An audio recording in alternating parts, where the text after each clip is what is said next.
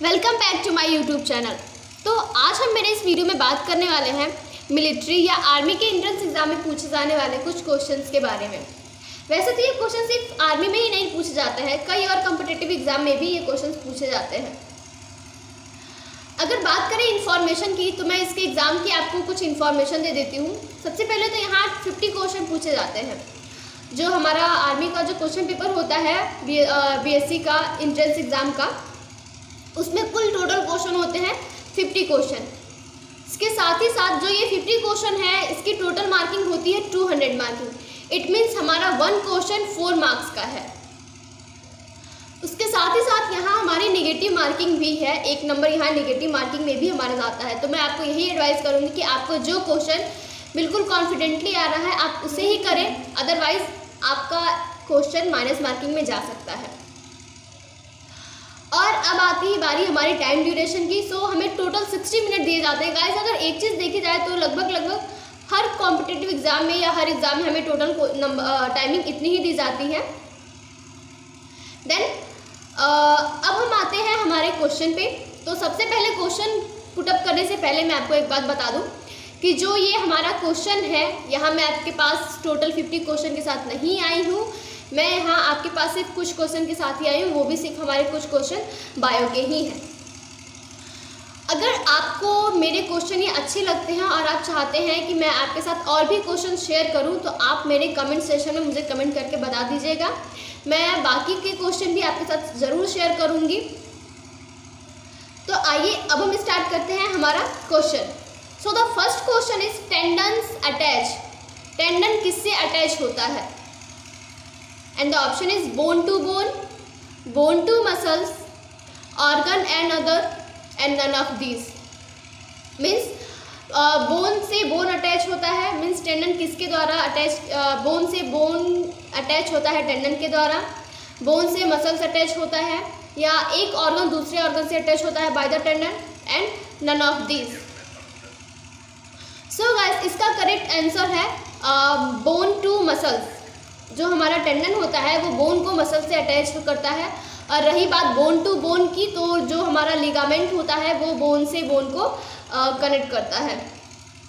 Then उसके बाद आता है हमारा next question R H blood grouping was first identify by means R H blood group सबसे पहले किसने आइडेंटिफाई किया था? And the option is well Bateson Wiener and Watson and Crick Well, Watson, Werner and Watson and Crick.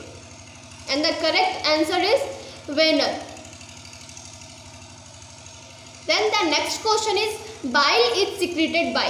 Bile किसके द्वारा secrete होता है liver के द्वारा पेनक्रियास के द्वारा ब्लेडर के द्वारा या बाइल डक्ट के द्वारा लीवर पेनक्रियास बाइल डक्ट या gall bladder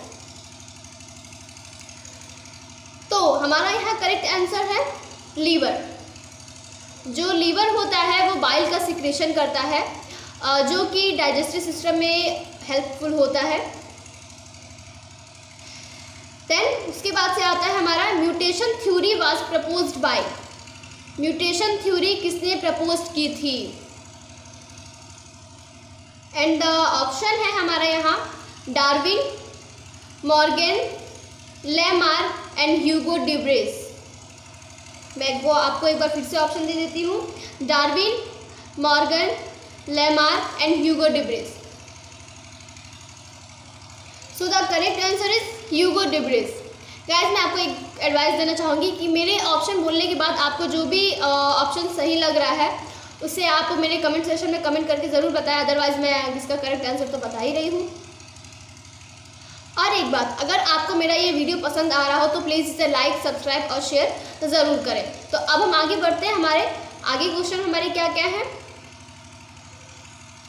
Acromegaly is caused by caused by inregular secretion of acromegaly किसके इनरेगुलर सिक्रेशन से होता है?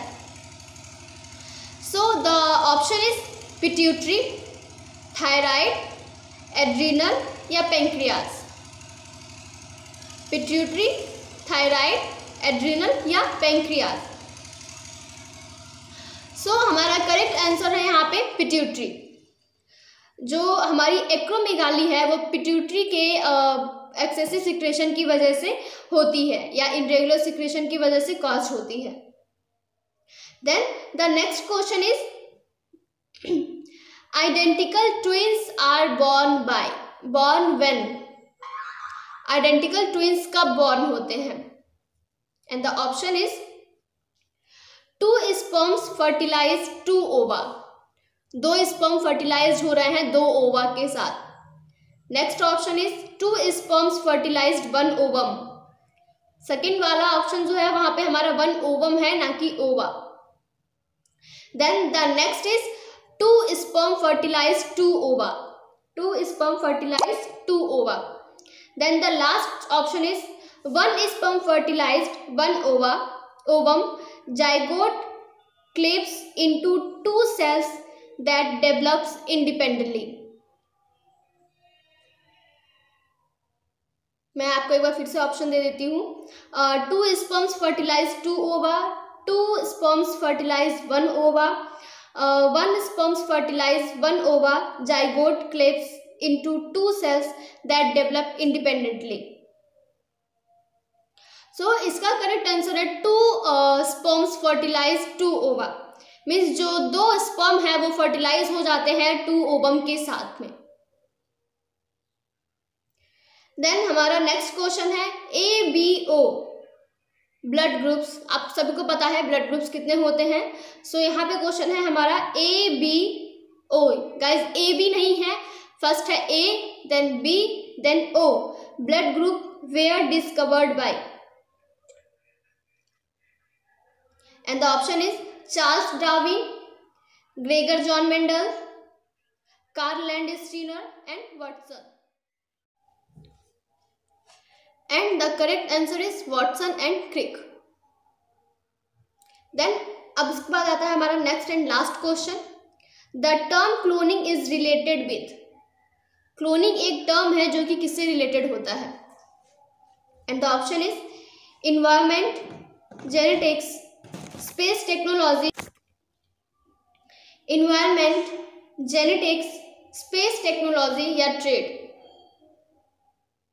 so the correct answer is technology sorry genetics sorry genetic so guys आप मुझे मेरे कमेंट बॉक्स में मुझे कमेंट करके ज़रूर बताइएगा कि आपको मेरा ये क्वेश्चंस कैसे लगे और अगर आप ये चाहते हैं कि मैं ऐसे ही और अच्छे अच्छे क्वेश्चन बाकी सब्जेक्ट से भी आपके साथ शेयर करूँ तो आप ये भी मेरे कमेंट बॉक्स में मुझे कमेंट करके ज़रूर बताइए। और इसके साथ ही साथ अगर आपने मेरे यूट्यूब चैनल को अभी तक सब्सक्राइब नहीं किया है तो प्लीज़ मेरे चैनल को लाइक सब्सक्राइब एंड शेयर ज़रूर करें। Thank you.